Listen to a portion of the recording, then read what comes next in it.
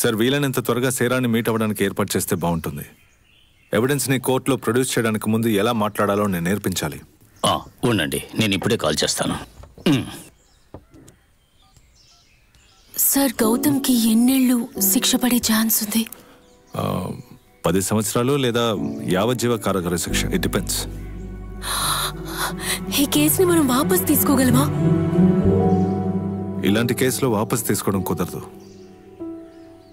సడన్గా ఎందుకు ఇలా అంటున్నావు? నేను తట్టుకోలేకపోతున్నాను. Case court. కానీ నీ ఐడెంటిటీ ఎలాగో బయటికి రాదుగా. మరేంటి?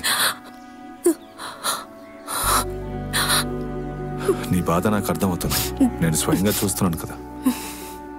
ఇప్పుడు నువ్వు చేసేది మామూలు విషయం కాదు. మిగతా వాళ్ళు ఇలా చేయడానికి భయపడతారు. సేరా ఎప్పుడు పిలిచినా వస్తాను అని చెప్పింది.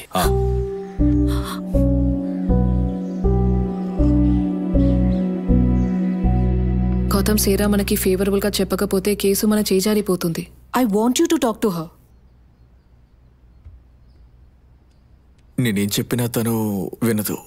సేరా నీ ఫ్రెండే కదా? జరిగిందంతా తనకి ఓపెన్గా చెప్పు. నీ ఫ్రెండ్ సేరాని కన్విన్స్ చేయాలని వాడివి మిగతా వారిని ఎలా కన్విన్స్ చేస్తా? అందులో మరో సమస్య ఉంది. ఏంట ప్రాబ్లం నా మొహం చూసి మాట్లాడు గౌతమ్. ముందా ప్రాబ్లం ఏంటో చెప్పు. అన్ని మీతో చెప్పి తీరాలా ఏంటి? చెప్పాలి. చెప్పే తీరాలి. ఇప్పుడు నిన్ను కాపాడేది నేను మాత్రమే మర్చిపోవద్దు.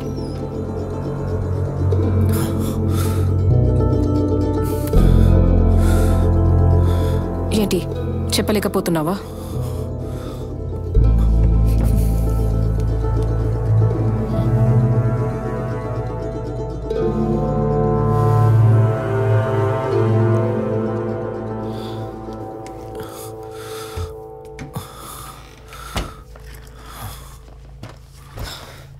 ఇప్పుడు చెప్పు.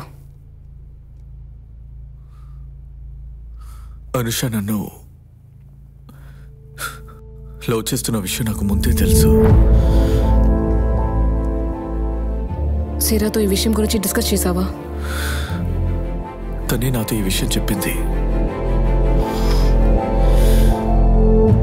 కానీ ఇది ఇంత పెద్ద సమస్య అవుతుందని నేను అనుకోలేదు. నేను ఎవరిని చీట్ చేయలేదు. నన్ను చేసావు కదా? అనుష నాతో క్లోజ్గా ఉండడం చూసి ఆనందించాను. కానీ ఇదంతా ఇంత సీరియస్ అవుతుంది అనుకోలేదు. ఆ రోజు రాత్రి జరిగిన దానికి నేను నేను ఎలాంటి ప్లాన్ వేయలేదు. ఇట్ వాస్ మ్యూచువల్ ప్లీజ్ నన్ను నమ్మండి. నిన్ను నమ్మాల్సింది నేను కాదు కోర్టు. తనని పెళ్ళి చేసుకుంటే ఈ సమస్య తీరుతుందా? ఛాన్సే లేదు. నన్ను ఎలాగైనా కాపాడండి. కావాలంటే తన కాళ్ళు పట్టుకొని క్షమాపణ అడుగుతారు. అనుషానే కాదు ఇంకెవరూ నిన్ను కాపాడలేరు. అసలు నువ్వు చేసిన తప్పుకి ఎవరూ నేను క్షమించలేరు. నువ్వు ఆ సేరతో మాట్లాడు. ఈ కన్నీళ్ళు తన దగ్గరికి వెళ్ళి కార్చు ఇప్పుడు నీ జీవితం తన చేతిలో ఉంది.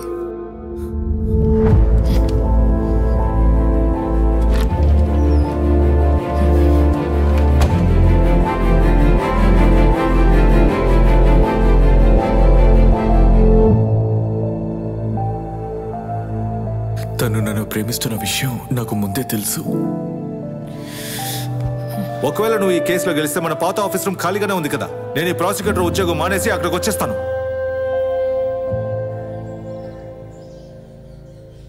అనుష మానసికంగా ఎలా బాధపడిందని మీరే దగ్గరుండి చూశారు. అంతేకాదు వాళ్ళిద్దరికి మీరే కదా కామన్ ఫ్రెండ్ సో మీరు చెప్పే ప్రతి విషయాన్ని కోర్టు సీరియస్గా తీసుకుంటుంది కాబట్టి మన సైడ్ నుంచి ఎటువంటి తప్పు జరగకూడదు. ఆ రోజు హాస్టల్ నుంచి మీరు బయటికి వచ్చిన తర్వాత ఏం జరిగిందో వివరంగా చెప్తారా? నేను ఆ రోజు రూమ్లో చూసేటప్పుడు అనుష ఆత్మహత్య చేసుకోవడానికి ప్రయత్నించింది. అది చూడగానే తన చేతిలో ఉన్న బ్లేడ్ని లాగేశాను. తర్వాత చాలా సార్లు అడిగాకే తన అన్ని విషయాలు చెప్పడం మొదలెట్టింది. కాలేజ్ టైం నుంచే మీకు గౌతమ్ బాగా తెలుసు కదా? అప్పుడు మీకు గౌతమ్కి రిలేషన్షిప్ ఎలా ఉండేదో నేను కోర్టులో అడుగుతాను. ఈ కేసుకి ఈ ప్రశ్నకి సంబంధం లేదు. మీరు దీనికి అనుమతి ఇవ్వకండి. సంబంధం ఉంది యువర్ ఆనర్ ఈ కేసులో ముద్దాయి అనబడే గౌతమ్ క్యారెక్టర్ గురించి మనం తెలుసుకోవాలి కదా. You may proceed thank you your honour నిజం చెప్పండి. అతను మీకు పరిచయం అయినప్పటి నుంచి ఇప్పటి వరకు గౌతమ్కి చాలా మంది గర్ల్ ఫ్రెండ్స్ ఉండేవారా? ఉన్నారు. వాళ్ళెవరికి గౌతమ్తో సీరియస్ రిలేషన్షిప్ ఉండేది కాదు కదా? లేదు. అంటే అతను ఎప్పుడు ఏ విషయాన్ని సీరియస్గా తీసుకోడు కరెక్టేనా?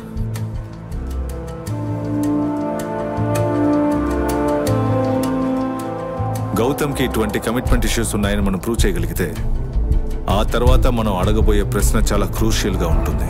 అనుష గౌతమ్నే ప్రేమించి తననే పెళ్ళి చేసుకోవాలని ఆశపడ్డారు. ఆ విషయాన్ని మీరు నమ్ముతారా? నమ్ముతాను. కానీ ముద్దాయి గౌతమ్ అనుషాని ప్రేమిస్తున్నట్టు నాటకమాడి తనని పెళ్ళి చేసుకుంటానని మాటిచ్చాడు కదా?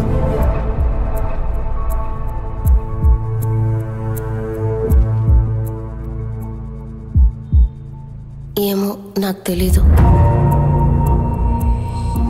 ప్రశ్న అర్థమైనట్లేదు. మళ్ళీ అడగనా? వద్దు. నాకు అర్థమైంది. దీనికి సమాధానం నాకు తెలియదు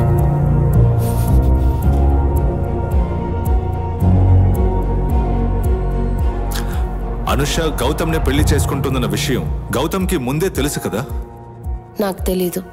కానీ ఈ విషయాన్ని గౌతమ్కి చెప్పింది మీరే కదా? నేను ఎవరితో ఏం చెప్పలేదు. Your honour witness he's already answer the questions yes yes మీరు అడగాల్సినవి ఇంకేమైనా ఉన్నాయా? కోర్టులో అబద్ధం చెప్పమని ఎవరన్నారు? Prosecution do not cross your line that's all your honour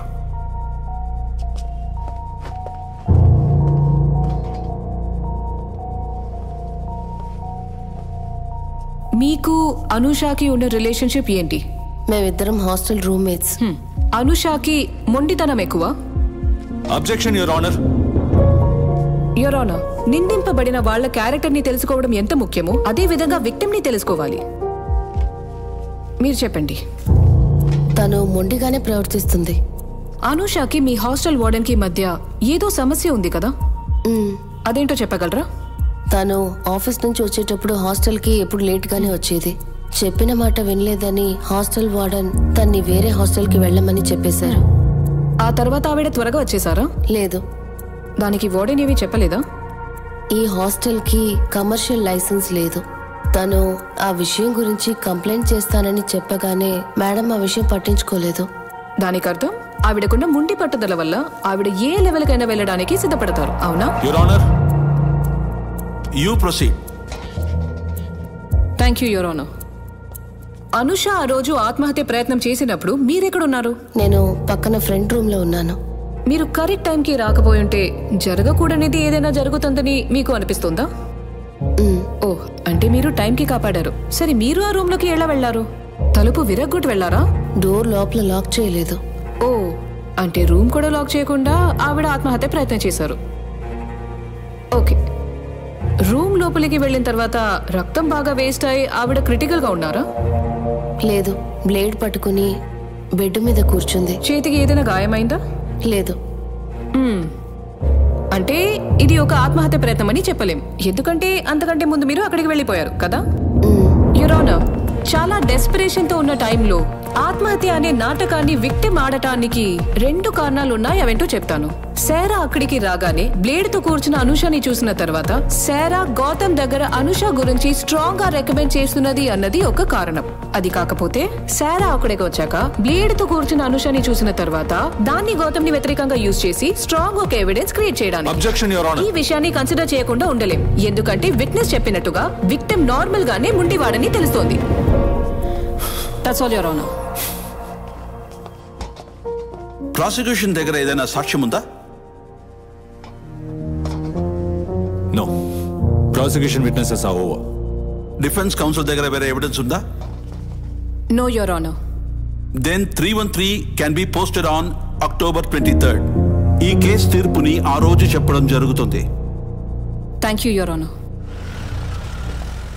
Madhu నువ్వు వీడితో చెప్పడం వల్లే గౌతమ్ శారాతో మాట్లాడాడు. నిజానికి ఇదంతా ఆ భగవంతుడి దయం చెప్పొచ్చు. మీరు భయపడకండి అంకుల్. ఈ కేసు తీర్పు మనకి అనుకూలంగా వస్తుంది.